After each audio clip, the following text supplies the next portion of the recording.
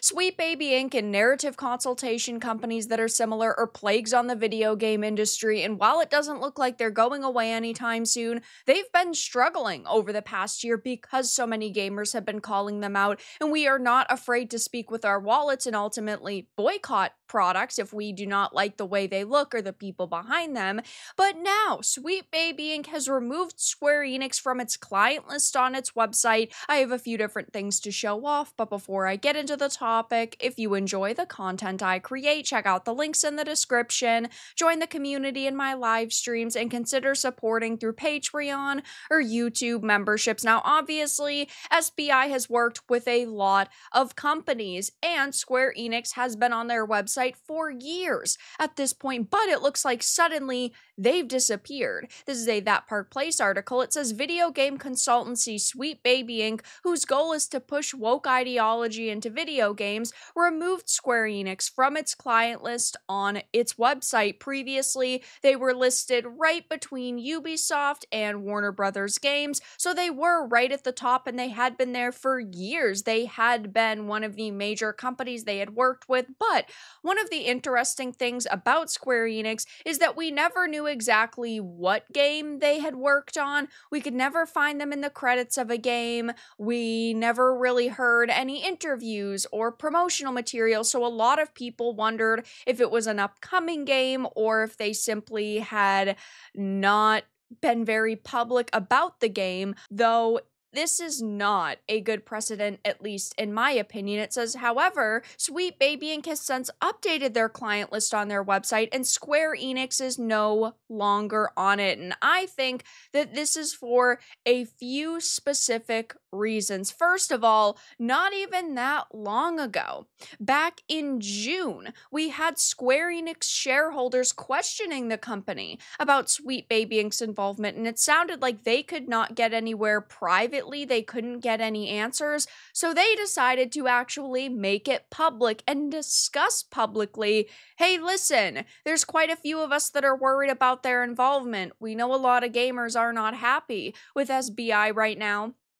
and they had gotten a very like generic public response as well but the shareholder asked I'm personally happy about the shift from quantity to quality. I hope good titles will come out in the future. I'm concerned about the Canadian consultant company Sweet Baby. Square Enix is listed as a client, but is there actually a transaction there? What kind of transaction is it? Will they continue to do so in the future? And then the Square Enix president had responded I would like to refrain from making specific comments about individual clients as we shift from quantity to quality providing content that is enjoyable and safe for our customers is also part of what makes a product fun. We will do our best as creators. So, this right here is, in my opinion, a major reason why a shift was made because just a few months ago, shareholders were questioning. Uh, Square Enix about their involvement with Sweet Baby Inc. and, you know, what products they worked on together, if they had something that was ongoing. But that is not a good sign because it looks like Sweet Baby just casually removed Square Enix from their webpage. So if it's so easy to get your name removed from this list, how many other companies will one opt to have their name removed from this list and two opt to hide their affi- uh, uh, affiliation in totality? Because we do rely on game credits and interviews and also this client list to find out if a game has been tainted by a narrative consultancy group like Sweet Baby Inc. But if a Square Enix can go, hey, Sweet Baby, listen, I know this would look good on your resume, but let's say we give you a million extra bucks, or let's say half a million extra bucks, and you don't add our name to the list, you think we could make a deal? And then it's going to make it 10 times harder to find out if these consultancy groups work with a large company like a Square Enix, a Ubisoft, a Warner Brothers Games, a Valve, all of these different studios. So that to me is the number one worry here because while Sweet Baby, I'm sure, wants to be able to tout all of these big names, and it does look good on their resume when they're either going to another company or another company is looking to work with a consultancy group and they go, Who have you worked with in the past? at the end of the day, if they are still making extra money and they still have all of these other big you know names on this list having a few fall off is not going to hurt them because there are so many companies that agree with what they're doing and so many companies that are still pushing for diversity initiatives with their games, whether it's the teams that are making the games or the cast of characters on screen, they still have these checklists that they're going down. So, hearing that Square Enix just a few months ago had problems with shareholders and suddenly the name is off the list is extremely worrying. And hey, there is a chance that maybe Sweet Baby never ended up doing anything with Square Enix and they they never actually ended up working on a project together and their list um you know consisted of Square Enix's name because they were planning to work with each other but a contract was never you know set in stone or that project never really came to fruition. There's a chance that that happened and Square Enix just followed up and said, hey, listen, why is our name on this list? And maybe this all just boils down to Square Enix saying enough is enough. We have seen so many Japanese companies like Bandai Namco who are adopting more DEI type policies, but maybe there are others like Square Enix who are moving away from that direction. I know that it is hard to give them the benefit of the doubt because they have censored so many games over the years, but they still do have some amazing IPs.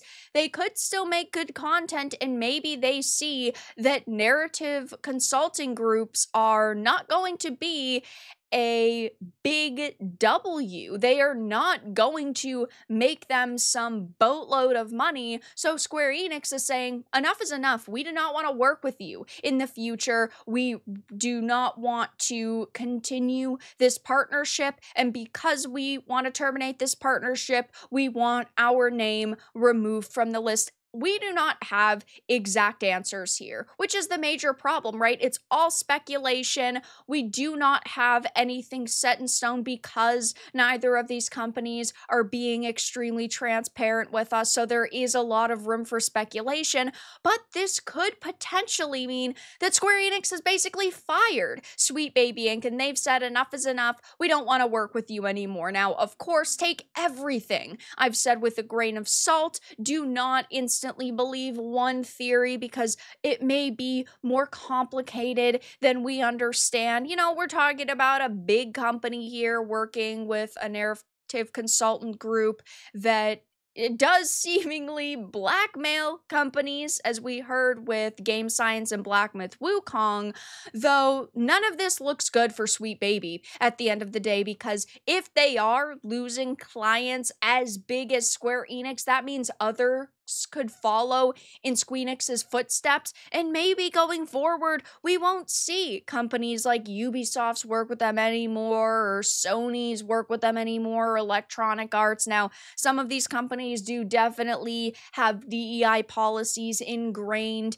in you know their their companies in totality when it comes to the developers that they're hiring and also the characters that they're putting into video games. So I think that in some instances it would be significantly harder for these companies to see a reason to move away from working with sweet babies and black girl gamers. But right now, this is, you know, definitely a situation that we don't have a lot of details on. But either way, it looks like Sweet Baby Inc. got fired, and it's pretty freaking funny.